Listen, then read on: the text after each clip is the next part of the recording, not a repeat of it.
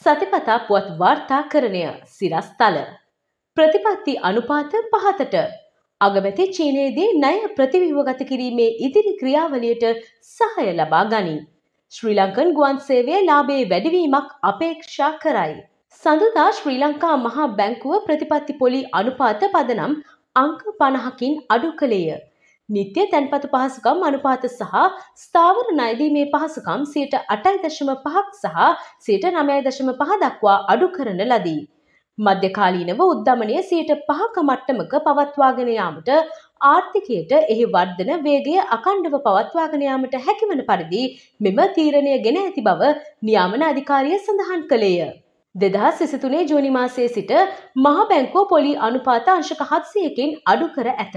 Bloomberg නිවස් වලට අනුව ගෝලීය ආයෝජකයින් සහ ශ්‍රී ලංකා නිලධාරීන් මේ සතිය සාකච්ඡා ආරම්භ කිරීමට නියමිතය. ප්‍රවෘත්ති ඒජන්සියට අනුව බැඳුම්කර හිමියන්ගෙන් සමන්විත මෙහෙයුම් කමිටුවක් විසින් සාකච්ඡා මෙහෙවනු ලබන අතර විදේශ ණය ප්‍රතිව්‍යුහගත කිරීම සඳහා රජයෙන් ඉදිරිපත් කළ යෝජනා සලකා බලනු ඇත.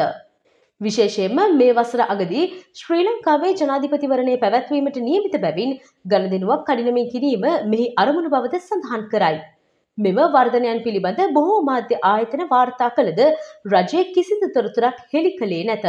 මාර්තු මාසේදී ශ්‍රී ලංකාවේ ජනාධිපති රනිල් වික්‍රමසිංහ විසින් දෙදහස් විසිහත අවසානය දක්වා ණය සහන කාලයක් සහ ආපසු ගෙවීම දෙදහස් හතලිස් දෙක දක්වා දීර්ඝ කරන ලෙස අදහස් පළ කළේය. මෙවන විට චීනයේ නිල සංචාරයක නිරතව සිටින අග්‍රාමාත්‍ය දිනේශ් ගුණවර්ධන මහතා ශ්‍රී ලංකාවේ ණය ප්‍රතිව්‍යුහ ගත කිරීමේ ක්‍රියාවලියට අකණ්ඩව සහය වන බවට සහ ආර්ථිකය දියුණු කරන බවට චීන සහකාර ලීක්වැන් මහතාගෙන් සහතිකයක් ලැබුණි. කටුනායක ජාත්‍යන්තර ගුවන්තොටුපොළ හම්බන්තොට වරාය සහ කොළඹ වරාය නගරය සංවර්ධනය කිරීමටද අගමැති ලී චැන්ක් සහය ලබා දුන්නේය. පසුගිය වසරේදී ශ්‍රී ලංකාවට චීනයේ අපනයන ආනයන බැංකුවෙන් දේපාශික ණය සම්බන්ධයෙන් ප්‍රතිපත්තිමය ගණදෙනුවකට එළඹිනි. පෙබරවාරි මාසයේ වෙළඳ භාණ්ඩ අපනයනය පෙර වසරට වඩා සියයට බිඳුවයි දශම එකයි හතකින් වර්ධනය විය.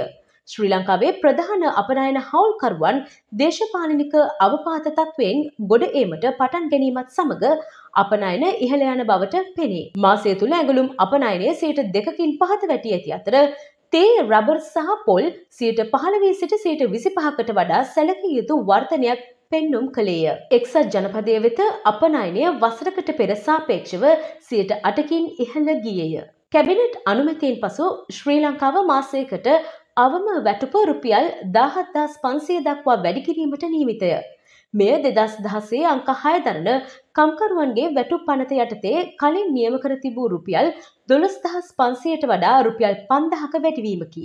ශ්‍රී ලංකන් ගුවන් සමාගමේ සභාපති අශෝක් පතිරගේ මහතාට අනුව සැලක යුතු සංචාරකින් පැමිණීම නිසා ශ්‍රී ලංකන් ගුවන් සේවා ලාබේ වැඩිවීමක් අපේක්ෂා කරයි.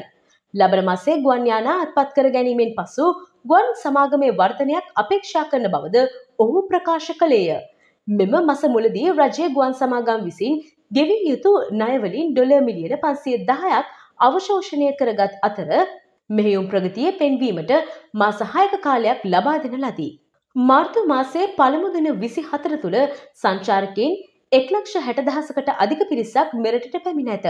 කෙසේ වෙතත් පෙබ්‍රවාරි මාසයේදී වාර්තා වූ හද්දාස් හයිසයේ සිට දෛනික පැමිණීම් හයදස් හත්සිය අනු හතර දක්වා පහත වැටී ඇත. දෙදහස් විසිහතර ආරම්භයේ සිට පැමිණි සංඛ්‍යාව පන්ලක්ෂ අසූ නමදහා ඉක්මවා ඇත. ඉන්දියාවේ මූලික මූලාශ්‍ර වෙළඳපොළ වූ අතර රුසියාව සහ ජර්මනිය ඊට පසු වී. දැන් අපි කොළඹ කොටස් වෙළඳපොලේ සීලම කොටස් වෙන දර්ශකයේ සහ SNPSL විස දර්ශකයේ සතිපතා චලනය දෙස බලමු.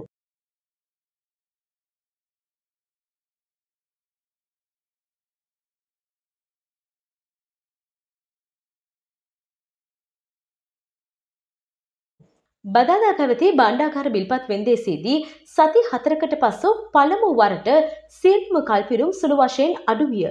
රුපියල් බිලියන එකසිය අසව පහක ලංස ලැබී ඇති අතර ඉන් බිලියන අසුවක් පිළිගෙන ඇත.